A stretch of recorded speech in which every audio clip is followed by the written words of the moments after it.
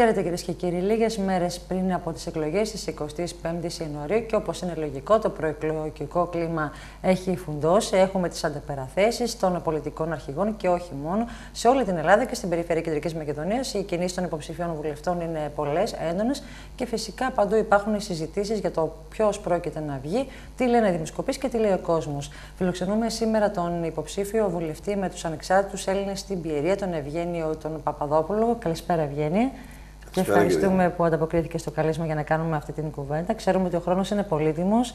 Είμαστε μια ανάσα σχεδόν πριν από τις εκλογές της Κυριακής. Πώς είναι η κατάσταση, πώς έχει διαμορφωθεί το κλίμα και τι εισπράττεις; Ναι, να ξεκινήσω με τις θερμένε μου ευχαριστίες, γιατί μου δίνετε πάλι την ευκαιρία να ενταχθώ στην τηλεοπτική μας οικογένεια. Νιώθω πάντα αυτό το ιδιαίτερο, το αξεπέραστο. Και κατά δεύτερο λόγο βρήκα καρέκλα να καθίσω γιατί τα χιλιόμετρα είναι πολλά. Βέβαια, μέχρι στιγμής, σε ό,τι αφορά τις βιολογικές μου δυνάμεις, ανταποκρίνονται πλήρως. Νομίζω ότι αυτό εξωθείται από το ψυχικό έτσι, από το εσωτερικό περιεχόμενο. Εκεί τα πάμε πολύ καλά και θα τα πάμε μέχρι το τέλος. Νομίζω ότι είμαι υποχρεωμένος να το πω γιατί πέρα από την αλήθεια που καταθέτω, με παρακολουθεί ένας κόσμος και περιμένει αυτό να το καταθέσω. Αυτό που εισπράττω σαν ευγένειος αυτή τη φορά είναι εντελώς διαφορετικό από αυτό που εισέπραξα στις πρώτες εκλογές. Τις εκλογές, αν θέλεις, εκείνες mm τις διπλές εκλογές του 2012. Εξηγούμε. Τότε είχαμε μια κοινωνία η οποία βέβαια, στο όνομα μιας αναγνωρισιμότητας, ερχότανε. Κάναμε τις ωραίες κουβέντες που συνηθίζω να κάνω με τους συμπολίτες μου, αλλά υπήρχαν και εκείνοι οι οποίοι μου έφερναν ένα, θα το ονομάσω τραγικό για αυτούς ή τουλάχιστον εναγώνιο για αυτούς ερώτημα. Για ποιο λόγο φεύγεις από μία κεντροδεξιά η οποία τέλος πάντων έχει την ιστορία της, έχει τις αξίες της, έχει όλα αυτά. Ίσως επειδή τότε η κοινωνία περίμενε από την εξέλιξη, την πολιτική εξέλιξη, κυρίως από την παρουσία του Σαμαρά πλέον στα κυβερνητικά πράγματα, κάτι διαφορετικό. Γι' αυτό και μου εξέθετε εκείνες τις αγωνίες και τις ενστάσεις. Σήμερα πλέον αυτό δεν υφίσταται. Σήμερα, τώρα μόλις έρχομαι από την πόλη, γιατί αυτές τις μέρες τις τελευταίες περπατώ την πόλη που με γέννησε, εισπράττω κάτι εντελώς διαφορετικό. Που είναι τι... Έρχεται ένας κόσμος ο οποίος δείχνει μία, θα έλεγα, υπέρμετρη, μερικές φορές μου φαντάζει ως υπερβολική θετικότητα. Θα έλεγα πως ε, έρχεται κοντά στον Ευγένιο που πλέον δεν θέλει να του πει καμία πίκρα, δεν θέλει να του μεταφέρει καμία άρνηση.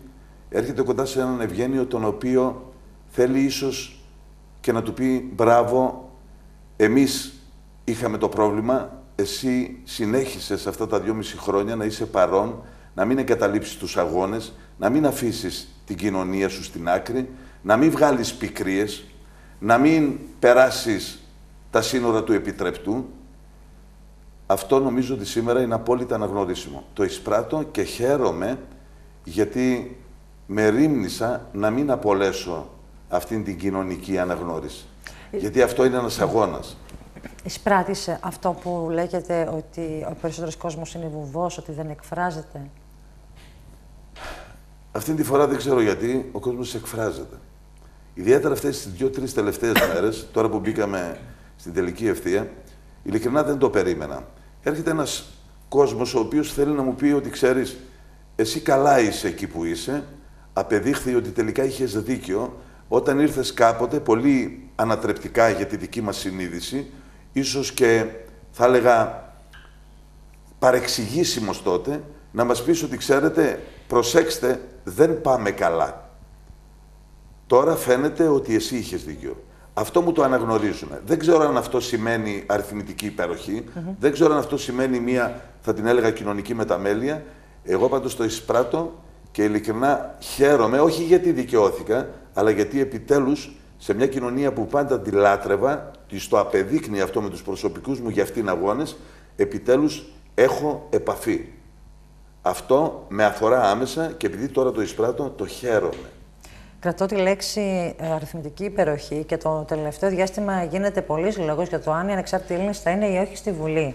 Έχουμε δει να αλλάζει το κλίμα τις τελευταίες δύο ημέρες και όλοι πλέον λένε ότι θα είναι στην ε, Βουλή οι ανεξάρτητοι Έλληνες.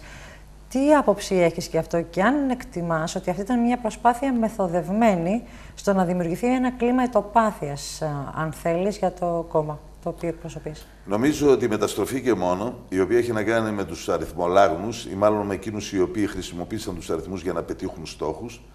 Και θα έλεγα πως αυτό ήταν το μικρότερο τους έγκλημα, γιατί δεν μας ενδιαφέρει η αλλίωση των αριθμών, μας ενδιαφέρει αυτό που ουσιαστικά βιώνει αυτή την απόλυτη τραγωδία ελληνική κοινωνία. Η απάντηση λοιπόν είναι δεδομένη.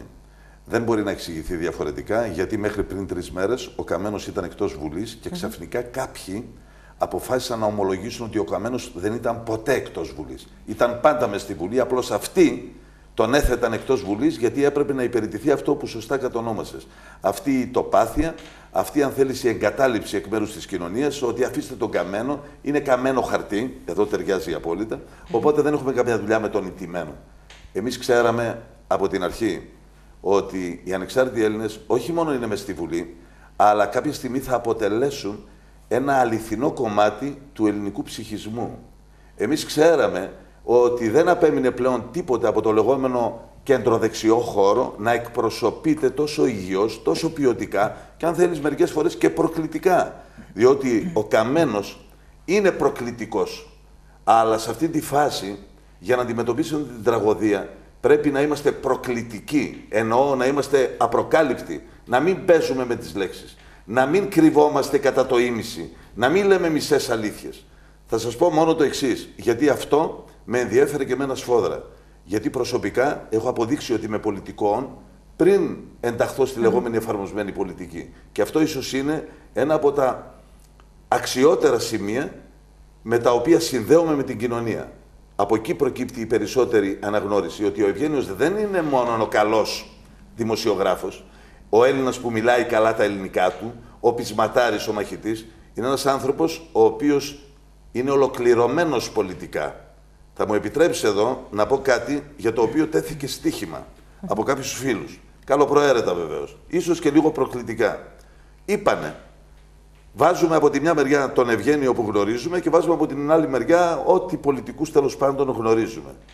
Πείτε μας, κρίνοντας μόνο ως προς τα πρόσωπα. Ποιος είναι ο άνθρωπος ο οποίος δεν έμεινε ποτέ πίσω σε επίπεδο κοινωνικών αγώνων; Ποιος ήταν ο άνθρωπος ο οποίος είπε μόνο τη μισή αλήθεια; Ποιος είναι ο άνθρωπος ο οποίος γνωρίζει πολιτικά σχεδόν όλο το φάσμα που απασχολεί την κοινωνία των Ελλήνων; Θέματα αγροτικά, θέματα που έχουν να κάνουν με τις κοινωνικές ανάγκες, θέματα οικονομικά, θέματα που έχουν να κάνουν με την πολιτική μας ιστορία. Αυτό από μόνο του αποτελεί ένα ολοκλήρωμα. Ο κόσμος λοιπόν παρακολουθώντα τον Ευγένιο τόσα χρόνια, κλείσαμε μόνος στη δύο τηλεόραση. Αυτή είναι η οικογένεια μου η τηλεοπτική. Δέκα ολόκληρα χρόνια συμπλήρωσα πριν από λίγες μέρες. Δεν ήμουν εδώ να τα γιορτάσω. Γιατί και αυτό μου άξιζε. Ήθελα αυτά τα γενέθλια, τα δέκα τα γενέθλια να τα γιορτάσω μαζί σας, εδώ, με τη δική μου τηλεοπτική οικογένεια. Αυτά τα δέκα χρόνια λοιπόν υπήρχε ένας άνθρωπος ο οποίος διέφερε πολιτικά, όχι δημοσιογραφικά. Να το αφήσουν αυτό που λένε, ξέρετε, εντάξει, είχε την πολυτέλεια του μέσου. Και άλλοι άνθρωποι είναι στα μέσα, αλλά δεν έχουν προκαλέσει αυτή την πολιτική αξιοπιστία. Ως φυσιογνωμίες βεβαίως και ο καθένας προσφέρει κάτι στην κοινωνία. Εγώ νομίζω ότι έδωσα εξετάσεις αγωνιστικού τύπου.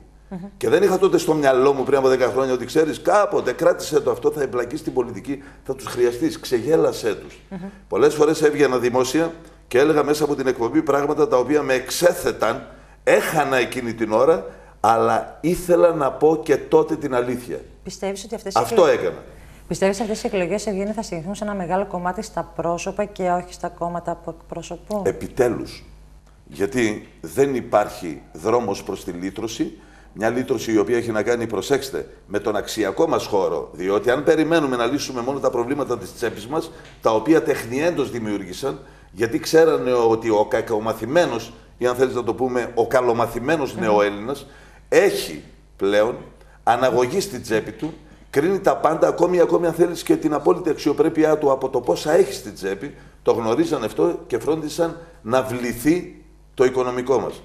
Εγώ δεν μένω σε αυτό. Και το λέω, θα έλεγα, όχι απλώς άμεσα και απροκάλυπτα, ομά, θέλω να το πω και σαν συμφωνία με τον κόσμο που εννοείται ότι έρχομαι να εκπροσωπήσω. Εγώ δεν πρόκειται να παίξω με τους οικονομικούς αριθμούς. Ξέρω πολύ καλά ότι στήθηκε ένα βρώμικο παιχνίδι. Είναι πολιτικό ζήτημα να πάμε στο επόμενο κοινοβούλιο να ασχοληθούμε σωστά με τους αριθμούς, αυτούς που αλλίωσαν, αυτούς που μας έφεραν σκοπίμους, αυτούς τους οποίους επιμένουν και φτωχοποίησαν την πατρίδα μου. Με αυτό πρέπει να ασχοληθούμε επιγόντως. Το πρώτο ζήτημα είναι αυτό. Αλλήμονό μας, αν πάμε στο επόμενο κοινοβούλιο και δεν βάλουμε κάτω ως πρώτο την ανάδειξη της αλήθειας. Άρα, αυτό πρέπει. Άρα αυτό σημαίνει και επιλογή ατόμων ικανών και ε, επιστρέφουμε πάλι στην αρχική ερώτηση που έχει να κάνει με τα πρόσωπα. Αξιόπιστα πρόσωπα. Πρόσωπα τα οποία. Ανεξαρτήτως κόμματος, Φυσικά, φυσικά. Αυτό βέβαια προσωπικά το πρεσβεύω παιδιόθεν. Από μικρό παιδί, ακόμη και στην παρέα μου, εκείνο που φρόντιζα να κάνω ήταν να έχω γύρω μου καλύτερους από μένα. Διότι από αυτό είχα να κερδίσω. Και έτσι με μεγάλωσαν οι ιερείς που με μεγάλωσαν. Μου είπανε στην παρέα δεν θα ανέχεσαι τους χειρότερους σου. Θα φεύγεις. Θα πας στην παρέα που έχει καλύτερους από σένα. Αυτή την κοινωνία πρέπει να την αναδείξουμε. Πιστεύω- Και η Ελλάδα γεννάει, πέρα από αυτούς που μας κάθισαν στο σβέργο, γεννάει οι Έλληνες. Δεν μπορούμε εμείς να τιμωρήσουμε τα παιδιά μας τα ίδια, αποκλείοντάς τα από μια υγιέστερη πολιτική. Πρέπει να τελειώσουμε με αυτό που μας καταδίκασε και μας εξαθλίωσε. Και είναι πολιτικό το ζήτημα.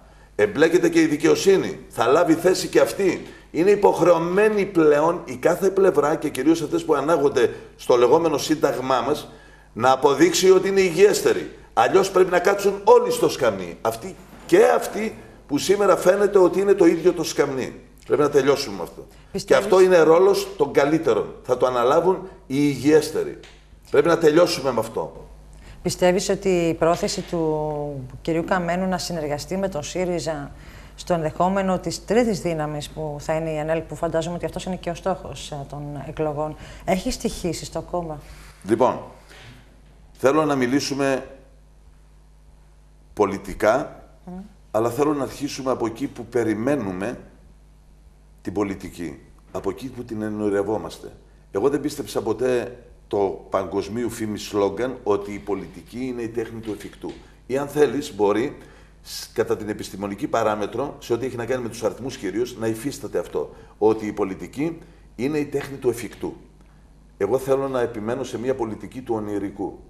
Εγώ πιστεύω προσωπικά ότι αν ο άνθρωπος σε παγκόσμιο επίπεδο τολμήσει να ξαναγυρίσει τα πράγματα μέσα του, να αρχίσει να τα βιώνει από την αρχή, ενεργώντας ο ίδιος με την ψυχή του την αληθινή, με τις δικές του αξίες και η κάθε περιοχή αυτού του πλανήτη, η κάθε χώρα, ο κάθε λαός έχει τα δικά του όμορφα πράγματα. Είμαι βέβαιος ότι το καλύτερο θα έρθει σύντομα. Έχουμε γονατίσει μπροστά στους ανελαίητους αριθμούς, οι οποίοι δεν είναι τίποτε άλλο παρά τα βασικά όπλα στα χέρια της παγκόσμιας πλουτοκρατίας. Εμένα με ενδιαφέρει να πω την εξής αλήθεια. Δεν μπορώ να συνδράμω, δεν μπορώ να συμπράξω με μία δύναμη η οποία δεν έχει στο στόμα της, δεν έχει στην ψυχή της, δεν θέλει να μου πει όλη την αλήθεια. Εκτιμάς Είπε ότι λοιπόν ο ο ΣΥΡΙΖΑ Καμένος δεν λέει την δύο αλήθεια; χρόνια πριν, θα μιλήσω για το ΣΥΡΙΖΑ, διότι εκ των πραγμάτων οι Έλληνες θα τον έχουν μπροστά. Τώρα αυτό είναι το μόνο βέβαιο. Αυτό που μπορεί κάποιος σήμερα να το υπογράψει με πάσα βεβαιότητα είναι Ότι ότι προηγείται. η επόμενη κυβέρνηση έχει ως κυρίαρχο πρώτο κόμμα το λεγόμενο ΣΥΡΙΖΑ. Τώρα, το γιατί ξαφνικά από το 3% έφτασε ένα κόμμα το 35% και δεν ξέρω τι άλλο μπορεί να συμβαίνει, είμαστε κάπου εκεί γύρω τέλος πάντων, είμαστε κάπου πριν από την αυτοδυναμία, θα μιλήσουμε λίγο και για την αυτοδυναμία και για τους κινδύνους που συνεπάγεται. Δεν είναι οι κίνδυνοι αυτοί καθ' αυτό που έχουν να κάνουν με το ότι είναι ο ΣΥΡΙΖΑ που ενδεχομένως να είναι αυτοδύναμος. Είναι ο κίνδυνος να ξαναγυρίσουμε στην πλάνη των αυτοδα- αυτοδυναμιών. Δεν φοβούμε τον ΣΥΡΙΖΑ ως αυτοδύναμο. Φοβούμε μια κοινωνία η οποία θα νοοτροπία, λες, γυρίσει. που θα αρχίσει να μπαίνει πάλι σε ένα μοτίβο που Φυσικά, βλέπαμε τα μα είναι, προηγούμενα δυνατόν, χρόνια. μα είναι δυνατόν να ξαναγυρίσουμε σε αυτοδυναμίες. Δηλαδή, αυτό θα αποδείξει ότι εμείς δεν μπορούμε να κάνουμε ούτε ελάχιστο μισό βήμα μπρος. Και Ναι. αυτό το χρωστάμε στην ιστορία μας. Τώρα, στο ενδεχόμενο όμως Ευγένεια που δεν έχει την αυτοδυναμία, γιατί επίσης Υπάρχουν και πάρα πολλοί παράγοντες που δείχνουν ότι είναι λίγο δύσκολο να, να έχει την αυτοδυναμία. Είναι οριακά, όπως λες και εσύ, ή λίγο λιγότερο οριακά. Εγώ πιστεύω ότι δεν θα την έχει την αυτοδυναμία ο ΣΥΡΙΖΑ, διότι δεν την δικαιούται σε ό,τι έχει να κάνει με τις πραγματικές, αν θέλει, σχέσεις του με την ελληνική κοινωνία. Ο ΣΥΡΙΖΑ μπορεί να έχει επενδύσει στη λεγόμενη φτωχοποίηση του Έλληνα, όχι ακριβώς, να έχει ενδιαφερθεί για να αλλάξουν τα πράγματα ως προς την φτωχοποίηση, αυτό θέλω να πω, αλλά έχει σοβαρές απώλειες, έχει σοβαρά κενά σε κάποια ζητήματα τα οποία έχουν να κάνουν με την ψυχή του Έλληνα. Θέλω λίγο έχει να, να κάνει λοιπόν με κάτι που το χρωστάει ακόμη, δεν το ερμήνευσε και κάποιοι του χρεώνουν τη γλωσσία ή αν θέλεις σκοτεινό τοπίο, είναι ό,τι χειρότερο. Δεν διευκρίνησε τα πράγματα. Έρχεται λοιπόν ο Καμένος, γιατί πρέπει να απαντηθεί αυτό το ερώτημα.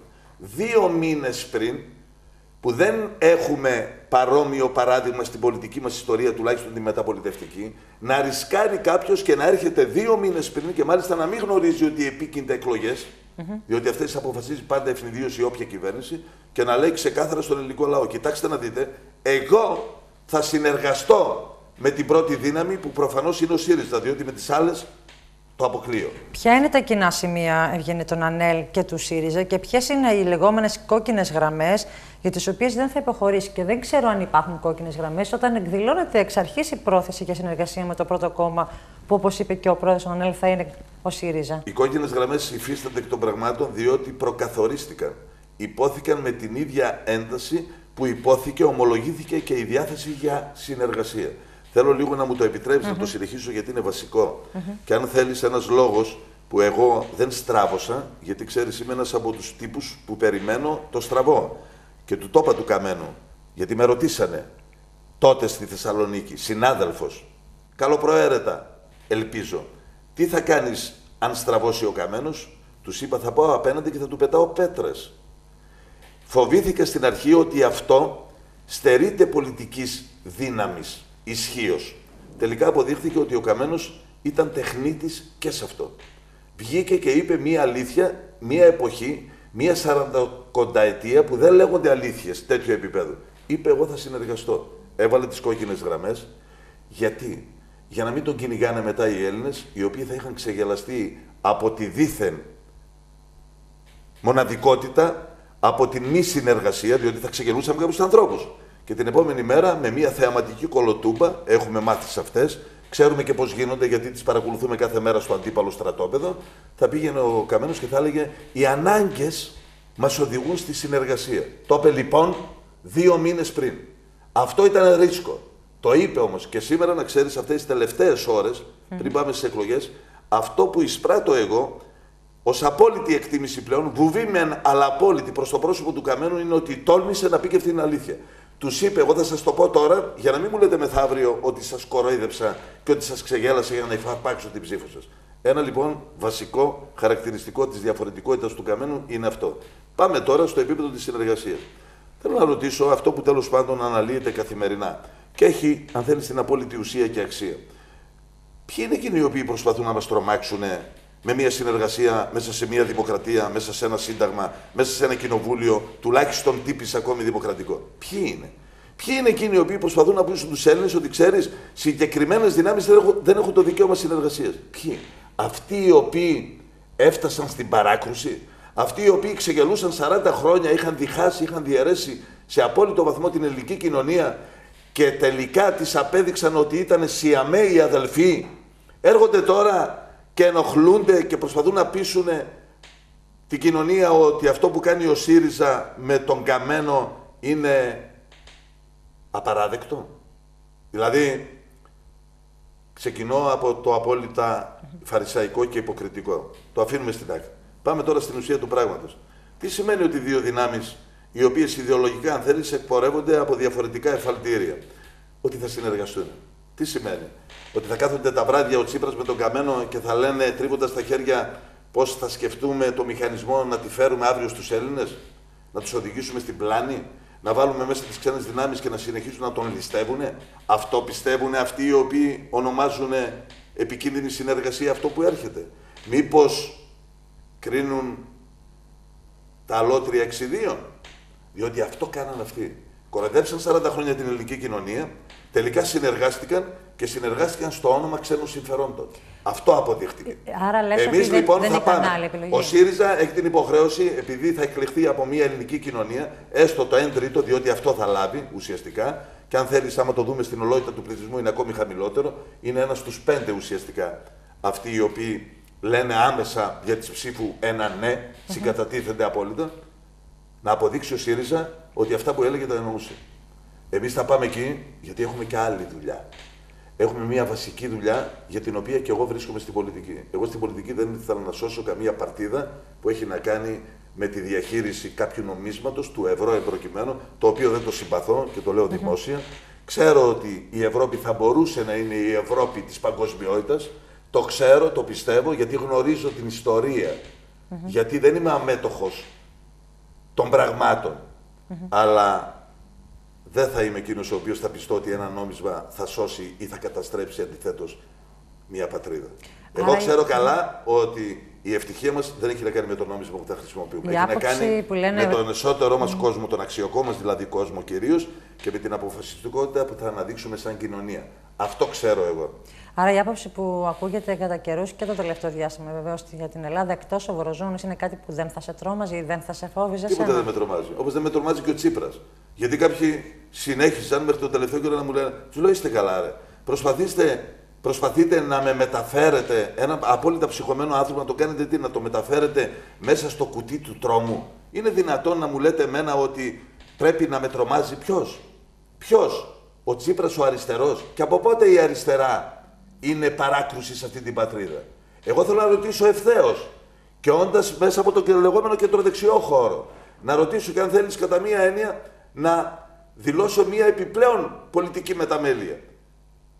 Τα πολιτικά εγκλήματα σε αυτή την πατρίδα τελικά πώς πρέπει να τα χρεώσουμε; Θα πετάξουμε όλα εκεί που είναι η κόκκινη δεξαμενή ή μήπως τελικά τουλάχιστον από τα τελευταία χρόνια αποδείχθηκε ότι και εμείς ή τουλάχιστον αυτοί οι οποίοι ανέλαβαν να μας εκπροσωπούν δεν ήταν το καλύτερο; Αλλά κάποια στιγμή, αγαπητοί μου, έπρεπε πρέπει να φύγουμε και από αυτό.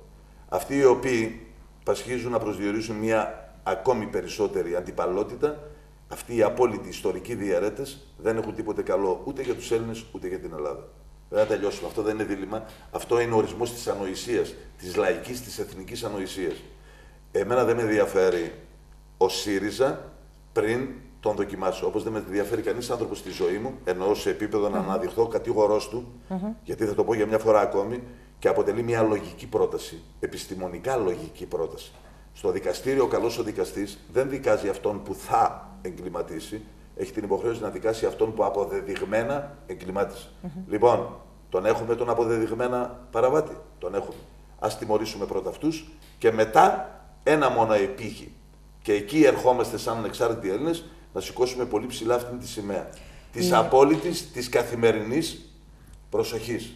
Η πρόταση... Και δεν θα αφήσουμε τον καθένα να παίζει ρόλο κυρίαρχο, επικυρίαρχο, να κάνει πράγματα του κεφαλιού του, επειδή αυτός είναι η μεγάλη αριθμητικά δύναμη και εμείς είμαστε αυτό που λέμε, είμαστε θεωρούν κάποιοι το δεκανίκη. Το είπε ξεκάθαρα ο Καμένος.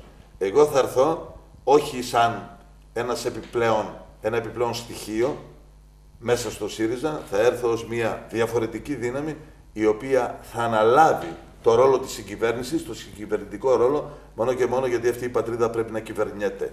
Η πρόταση των ΑΝΕΛ για την ε, ανάπτυξη της χώρας, για την καταπολέμηση της ανεργίας, για την τόνωση της, απασχολη... ε, της απασχόλησης και της επενδύσεις, ποια είναι; Είναι η εξής.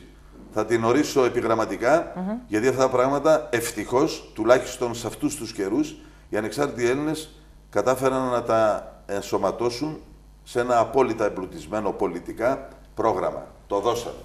Και μάλιστα νομίζω ότι για πρώτη φορά έχουμε ένα πρόγραμμα που είναι ένα αναγνωστικό, ένα αλφαβητάρι. Μπορεί να πάει ακόμη και εκείνος ο οποίος δεν έχει καμία πολιτική γνώση να αναγνώσει πράγματα. Λέμε λοιπόν ξεκάθαρα τα εξής τρία πράγματα. Πρώτον, επειδή έχουμε διαγνώσει τις πληγές ή αν θέλεις τις αιτίες του κακού, τη ρίζα του κακού, από τι αυτή τη στιγμή επιφέρει- ε, υποφέρει η ελληνική ανάπτυξη, αυτό που ονομάζουμε επιχειρήν γενικώς, από το πρωτογενή τομέα μέχρι τους βαθύπλουτους επιχειρηματίες σε αυτόν τον τόπο. Από τι, από το ότι δεν είναι ανταγωνιστικό. Τι συνεπάγεται αυτό, υψηλές φορολογίες παντός επίπεδου, που εμείς τις θεωρούμε και ληστρικές. Διότι έρχονται αφού προκλή, προκλήθηκε τεχνίαντο μια φτωχοποίηση. Άλλο πράγμα να πληρώνεις μια εφορία ψηλή όταν έχεις, και άλλο να πληρώνεις μια εφορία ακόμη και χαμηλή που δεν υφίσταται όταν δεν έχεις. Όλα είναι συνάρτηση των πραγματικών σου δυνατοτήτων.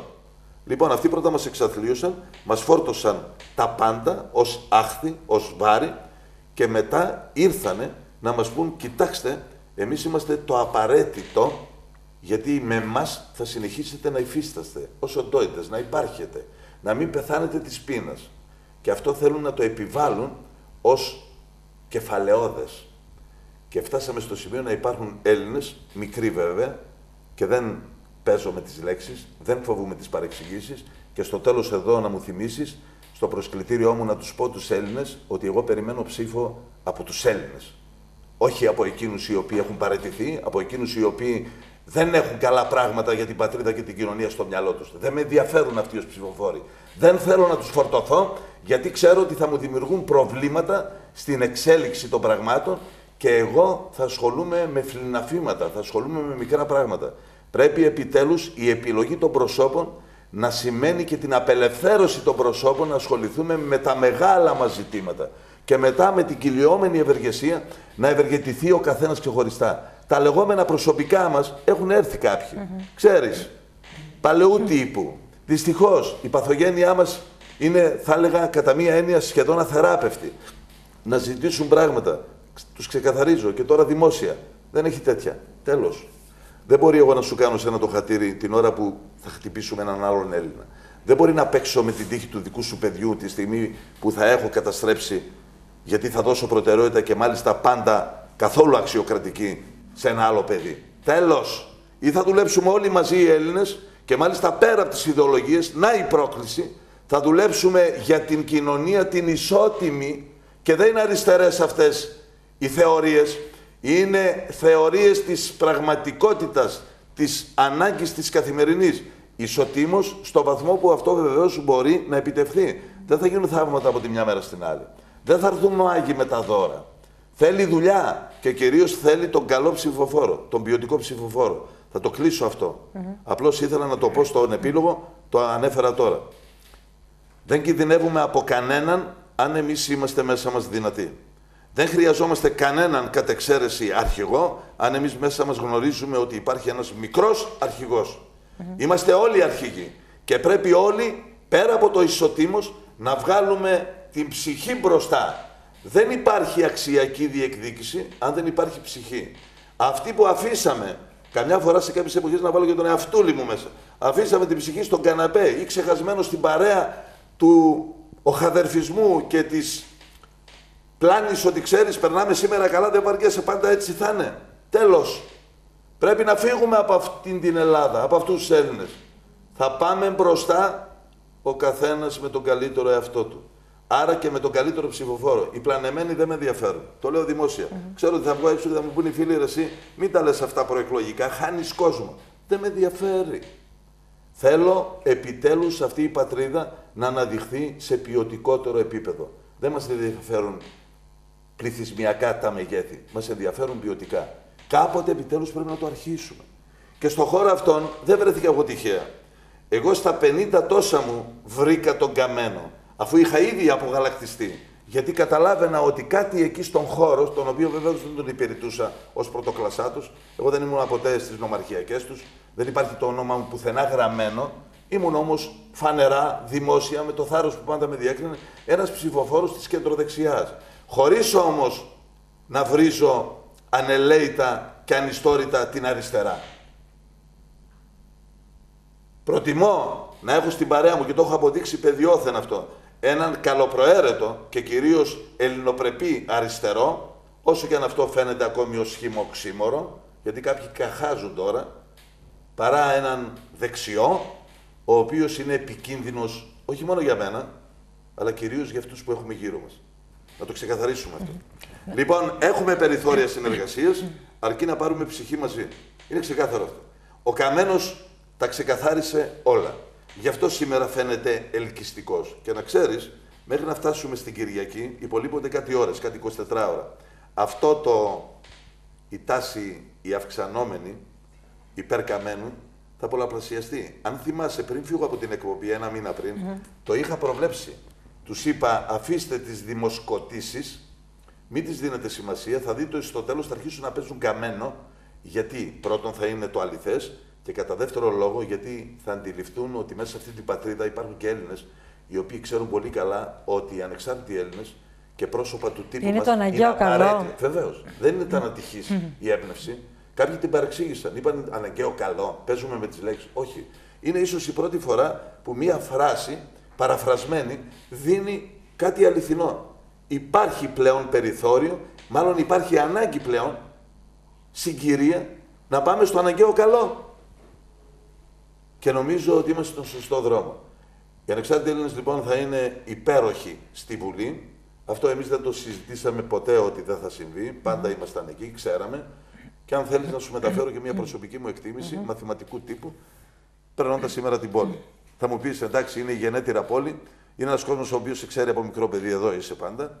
Αναγνωρίζει ότι είσαι ένας mm τέλος πάντων στοιχειοδός θετικός πολίτης και το εισπράττεις. Όχι, δεν είναι αυτό. Δεν εισπράττω εγώ αυτό. Εγώ δεν εισπράττω τους αγώνες μέσα από την τηλεόραση, τους αγώνες στα διόδια, τους αγώνες να μην πάνε τα απόβλητα της τόσο στο λιτόχωρο, τους αγώνες να δείχνω εδώ με κίνδυνο να κληθώ και να κυνηγηθώ. Ξέρεις πόσες φορές ήρθαν στο κανάλι κάποιοι και απέτησαν την απομάκρυνσή μου. Αυτά είναι αλήθειες. Δεν τα κρύψαμε ποτέ. Εγώ ήμουν εκεί. Δεν εισπράττω όμως αυτό. Εισπράττω πλέον την ανάγκη του ίδιου του κόσμου να ζητήσει από τον ίδιο τον εαυτό μια συγγνώμη για την πλάνη μέχρι τώρα. Αυτό εισπράττω. Το βλέπω σήμερα ειδικά, το εισέπραξα εμπολής και το χάρηκα. Γιατί καταλάβαινα ότι επιτέλους υπάρχει μία αναγνώριση ότι δεν μας πετάνε στο καλάθι των αχρήστων. Παρά τις ασκήσεις που πιέστηκαν και κυρίως αυτή που είχε να κάνει με τις άτιμες αυτές, τις απαράδεκτες, τις άθλιες δημοσκοπήσεις, να πετάνε τον, καμένα, τον καμένο έξω από το κοινοβούλιο. Θέλω να πω κάτι ακόμη. Θέλω να θέσω ένα ερώτημα. Το θέτω στην καθημερινότητά μου. Τελικά κάποια στιγμή δεν πρέπει να δούμε τον πραγματικό μας αντίπαλο, για να μην μιλήσω για εχθρό, γιατί εδώ κατά τον ύψεν έχουμε όντως τον εχθρό του λαού. Έχουμε εχθρούς του λαού, το απέδειξα. Αμετανόητοι, πλουτοκράτες. Αυτή τη στιγμή έχουμε ανθρώπους οι οποίοι πλουτίσανε μέσα στο τελευταίο την ώρα που με τις ψήφους τους, με τις υπογραφές τους, φτωχοποιούσαν την ελληνική κοινωνία. Διότι εμένα δεν θα με πείραζε αν ξαφνικά μου έλεγαν ότι ξέρεις, υπάρχει μια κάστα σε αυτή την πατρίδα, οι πολιτικοί εμπροκειμένου, οι οποίοι πλουτίζουν περισσότερο του κανονικού. Με ενδιαφέρει όμως από τη στιγμή που αυτοί πλουτίζουν την ώρα που οι ίδιοι με τις δικαιώσει ευθύνες φτωχοποιούν την ελληνική κοινωνία. Αυτό πλέον είναι ο ορισμός της πολιτικής αθλειότητας. Και αυτό από μόνο του αποτελεί κακούργημα. Και αποτελεί και αυτό που ονομάζουμε εθνική προδοσία. Γιατί δεν χρειάζεται να ανοίξεις κερκόπορτε για να εισβάλλει ο πραγματικός εχθρός, που και αυτό συνέβη ουσιαστικά. Απλώς δεν έμαθαν οι Έλληνες να το αναλύουν σε βάθος. Απλώς και μόνο να φτωχοποιείς μια κοινωνία. Αυτό είναι εθνική προδοσία.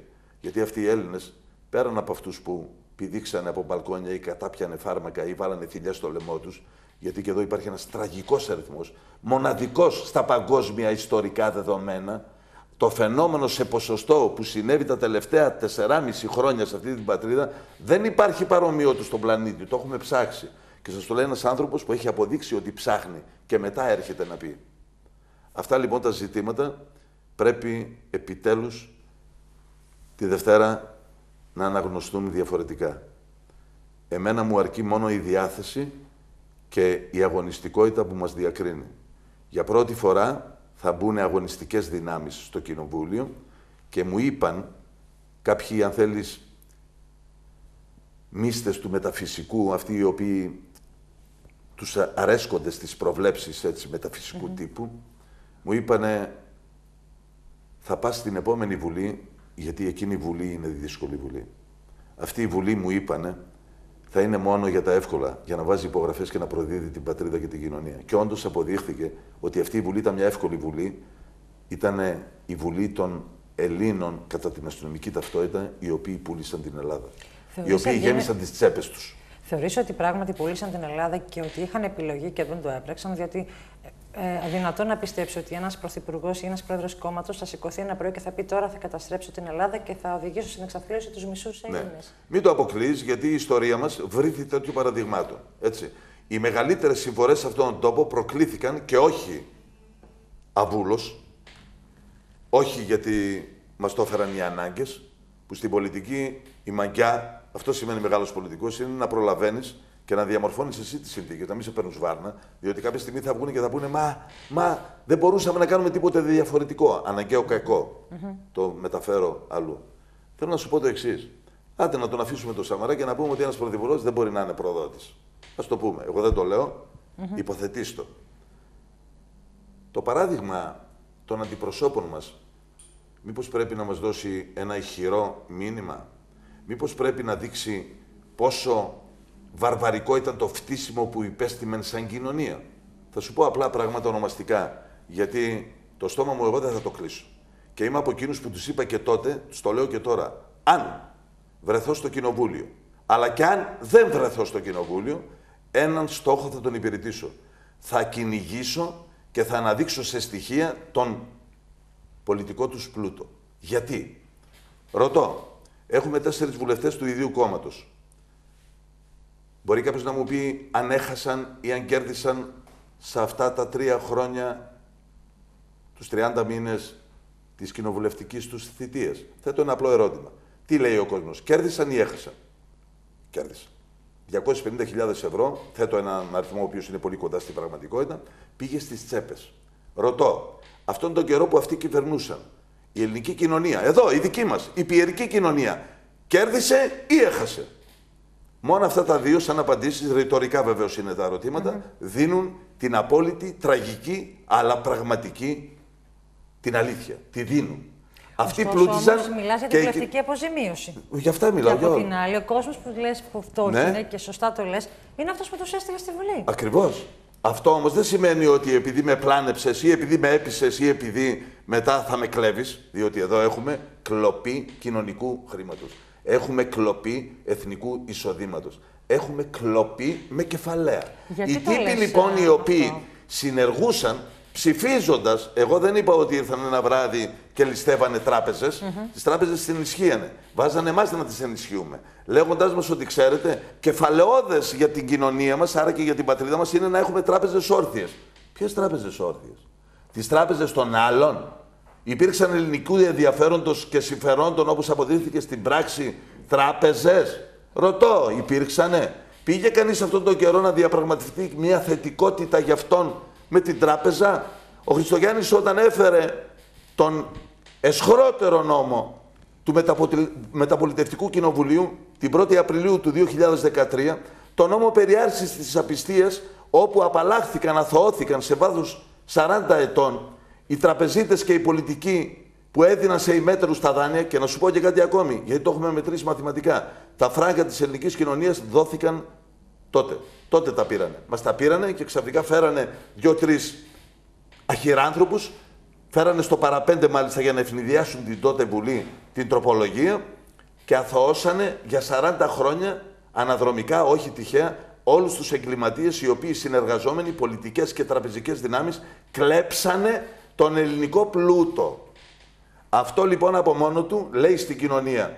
Ποιος είναι ο εχθρός σου; Αυτός ο οποίος σε φτωχοποίησε, όντας ο ίδιος πλουσιότερος από μέρα σε μέρα ή έχεις να πεις κάποια άλλη αλήθεια; Δεν υπάρχει καμιά άλλη αλήθεια. Η αλήθεια είναι ότι ήρθανε, χρησιμοποίησαν την πλειοψηφία, πλάνεψαν την ελληνική κοινωνία, μπήκανε στο κοινοβούλιο, βάλανε φράγκα μέχρι τώρα, τελευταία και τον μήνα που δεν δικαιούταν τον πήρανε, τον, τον, βάλανε στην τσέπη ξεδιάντροπα, τώρα τον επιστρέφουν γιατί καταλάβανε, γιατί καταλάβανε ότι και αυτό είναι, κατηγορ, είναι στοιχείο κατηγορίας. Είναι και αυτό κάτι το οποίο θα τους οδηγήσει σε εδόλια. Αυτά λοιπόν πρέπει να ξέρει η κοινωνία και η κοινωνία τα ξέρει. Τώρα δεν παίζει ρόλο το πόσο δεξιός ήσουν από γεννησιμιού σου, παίζει ρόλο το που έφτασες και θα σου προσθέσω και κάτι ακόμη, αγαπητή Εύη. Μιλώ για το χωριό μου. Εγώ είμαι χωριατόπεδο και θα πεθάνω εκεί, το έχω αποφασίσει αυτό. Γιατί μου αρέσει.